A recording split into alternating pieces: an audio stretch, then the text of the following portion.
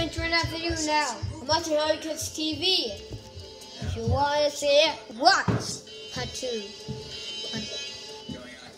On there, they put on the case, the soft hair. The hairy, hairy hair. It's uh, uh, hair.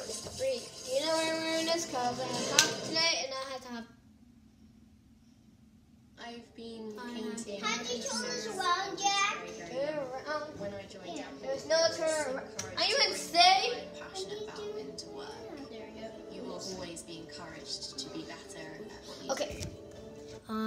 Uh, like. Okay, we're discovering now And start now. Bye, friends. my friends. Three videos.